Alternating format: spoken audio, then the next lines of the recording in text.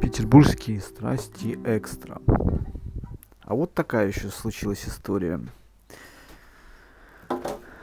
Приехали э, в город Барды. Говорят, там у Карагодского в Тюзе сейчас бардовский фестиваль в Ленинграде. Ну кто? Акуджау приехал. Высоцкий приехал. Визбор приехал.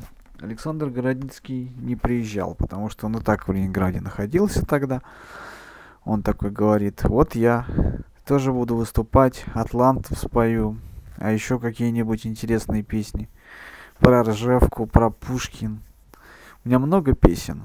Я не просто ученый-геолог, я еще и поэт. Вот у меня гитарка есть. Правда, я на ней сам не играю. Тут стоит гитарист, виртуоз, он играет, а я пою песни. Да мы всем знаем, конечно, этого замечательного барда, нашего замечательного ленинградского барда Александра Городницкого. Ну, все собрались, все поют песни. Даже был слух, что и монах Романов приедет из монастыря, но, конечно, он как монах не стал бы. Ну, говорят, вот э, жаль, может, какой-нибудь конференц-связь с нашим бардом-монахом э, соорудим. Ну, тогда еще для конференц-связи такие огромные камеры использовались, то есть там не как мы сейчас носим телестудию в кармане в смартфоне. А вот тогда огромные камеры, огромное оборудование, это все, конечно, невозможно так записывать. Ну, поэтому и не записали ничего этот концерт, но поверьте на слово, все было именно так, как мы рассказываем в петербургских страстях экстра. В это время, кстати, Вальф-Рами э, при, приплыл на лодочке долбленочки прям к Авроле со стороны, с другой, не со стороны набережной, где, где люди, а со стороны от к, э, пути к набережной, как бы.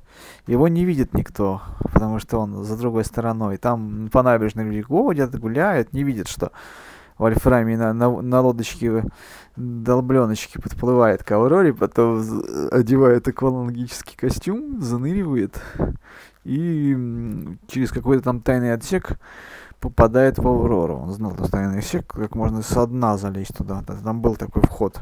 Там надо быстро открывать дверь, чтобы не, не, не, не вы не набрать вот. И он там, в общем, сделал какие-то специальные свои изобретительские дела, и раз она пошла, поплыла.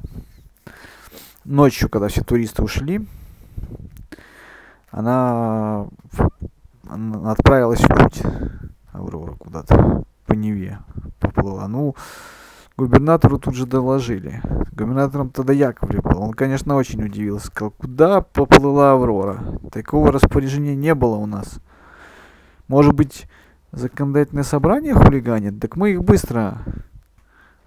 Это дело вообще подсудное. Никакое депутатская неприкосновенность здесь не поможет. Да никто там не хулиганит. На кого вы думаете? Я думаю, на этого сомнительного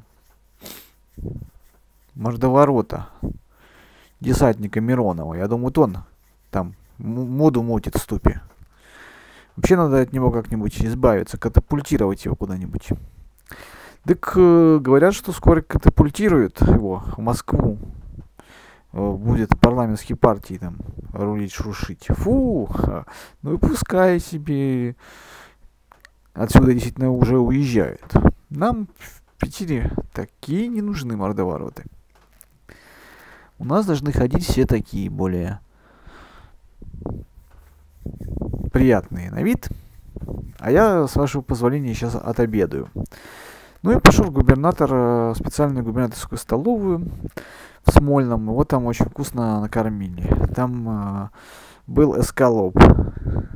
Всякие разные сырные корзиночки там были, салаты, супы. Настоящий ресторан. То есть, э, хоть, хоть это называлось губернаторская столовая, но, конечно, это было очень вкусно все.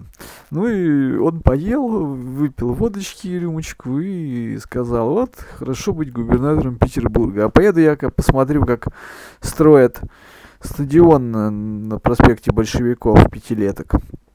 И поехал Ледовый дворец смотреть. Ему там показывают. Он даже взял, одел хоккейную форму и на льду прокатился. Потом э, говорит, запускайте 10 фигуристок. И там действительно 10 фигуристок из школы фигурного катания питерской начали там кружить, вертеться. И он, конечно, всякие трюки там показывали. Он говорит, вот, все, испытание прошло, скоро открываем мы наш стадион. Будет там чемпионат мира по хоккею. Вот такая вот история была. Ну, конечно, прибегают еще куча народу. Говорят. Вот все, комиссия, все проверили, все замечательно, открытие скоро при скором. Ну, хоккеисты приехали, говорят, мы будем здесь тусоваться в Питере. Ну и между матчами все время тусы, ночные клубы, ходят, баракузят по набережным такие, с Певчанским ходят. Вообще, говорят, что это вот я, говорит, недавно тут шел с, с барышней. Ну ладно, там на набережных моряки стоят и ловят рыбу. Так еще вон и хоккеисты там с пивом стоят. Все время глушат, только и слышно. Бульк-бульк, бульк-бульк. Ну что за хоккеисты? Им завтра выступать а он, а они пиво глушат в час ночи. Ну что это за, за сборная у нас такая, я не понимаю. Вот Павел Бюре, как не зайду в рюмочную, все время Павел Бюре сидит там и хлопает рюмки. Потом еще в пышечную приходит, говорит, пышек мне ленинградских, питерских, пышек мне ленинградских, питерских, я Буре. Ну, ему, конечно, сразу там целую миску этих пончиков всяких накидают, пышек. И пудра еще так сверху посыпят, и кофеек дадут из котла общего такого. Ну, Буре посидит, такой радостный, ладоши похлопает, и опять в новый клубешник. Там энергетик, адреналин, раш давай. Нет, говорит, энергетик э, Red Bull. Адреналин раш еще не было. Ну, тут его подловили, говорят. А че, откуда ты знаешь, что будет адреналин раш? Ты еще в 96 году вообще не должен знать по такие энергетики. Ну, давай выкладывай. Ты что, на машине времени тоже катаешься? Буре говорит, ну да, катаюсь, и что? А чего бы покататься-то? Благо зарплата позволяет. Я, говорит, люблю, например, в Египет древний слетать, посмотреть фараонов настоящих, или, например, переместиться в античную Грецию, посмотреть, как все было интересно, как создавалась великая эллинская культура. Он говорит, ну, хорошо, любой каприз за ваши деньги. Машину времени запускаем. Куда там Павел Бурей летит? Ну и полетел. Все, конечно, обрадовались. Сразу стали хлопать в ладоши, прыгать говорить. Замечательно. Как хорошо, что у нас такая есть технология. Действительно, стали богатеем всяким машину времени в аренду выдавать. Кто с кем встречается. Ну, тогда уже вообще все по-другому стало кто-то сказал, я вот э, не с кем общаться, не с кем общаться. Да вот бери машину времени, лети ты к своей Ганди, если тебе надо с Ганди пообщаться, или к, к самому Ганди. А чем тебе, собственно, я светишь, что Далай-Ламу не угодил, пообщайся с ним. На самом деле ты ни с кем не общаешься. У тебя все заготовлено, и все говорят, как на бумажке написано. А ты пообщайся вот так, тет-а-тет. -тет. Потому что общение это обмен энергиями на уровне речи. Вот. Ну и, соответственно, прилетели на самолете какие-то туристы на чемпионат по хоккею. Выходят с чемоданами, все, выбежали.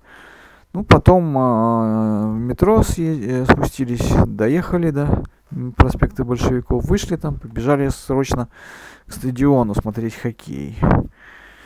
Ну, забежали в Ледовый дворец, все сидят, радуются.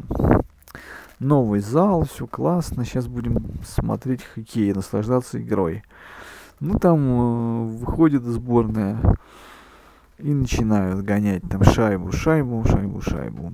Однажды даже так сильно крикнули шайбу, что один хоккеист говорит, вот вам шайба берет, подкидывает ее в воздух и клюшкой как ударит, и она полетела прямо в зрительный зал. И кому-то зубы прямо выбила и залетела в рот. Ну, все такие говорят, ну, вообще, что это хоккеисты устроили? Взяли зубы человека выбили. Ну, конечно, ему потом компенсировали, он там потом новые зубы себе вставлял, там металлокерамику всякую, коронки. Ну, все там нормально у него, как бы, все навставлял, все выпавшие зубы, все потом еще даже и лучше стало у него Вот. Ну и за моральный ущерб ему там еще заплатили. Но он довольный ходил, все показывал всем. Вот, смотрите, сколько мне заплатили. Вот, смотрите, сколько мне заплатили. Во всем на переулке тюкнули тогда э, кочергой какой-то. И все, отобрали у него там часть денег. Но часть оставили. Такие благородные были разбойники. Так, ну, такая, в общем-то, э, игра была увлекательная. Это хоккейная. Так что летайте на машине времени, если вам э, позволяют средства. Тогда можете в любое время переместиться и пообщаться с кем хотите. С Петром Первым, пожалуйста, в Альфраме общался в четвертом сезоне. Можете послушать, как это было вообще без проблем. Подписывайтесь на канал, ставьте лайки. До новых э, встреч в петербургских страстях.